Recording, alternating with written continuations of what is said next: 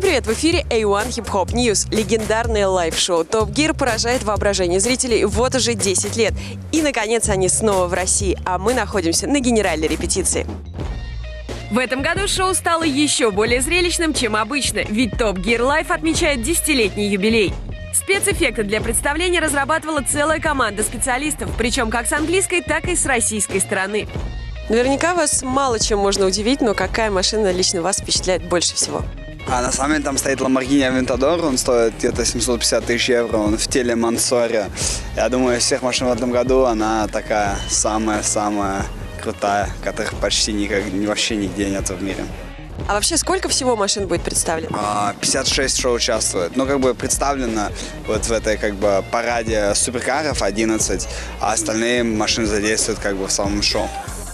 На представлении можно увидеть самые дорогие, самые тюнингованные и самые мощные автомобили в мире. А кроме этого, на шоу также представлены самые несуразные машины и чудеса российского автопрома.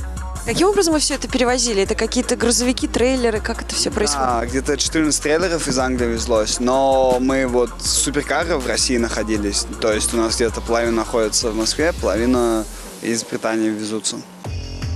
Кроме самих автомобилей, в программе есть мото и велотрюки. Это было действительно непросто для нас подготовить шоу. Всего у нас было 300 репетиций, а сегодня, например, их было 4. И это в день перед самим представлением.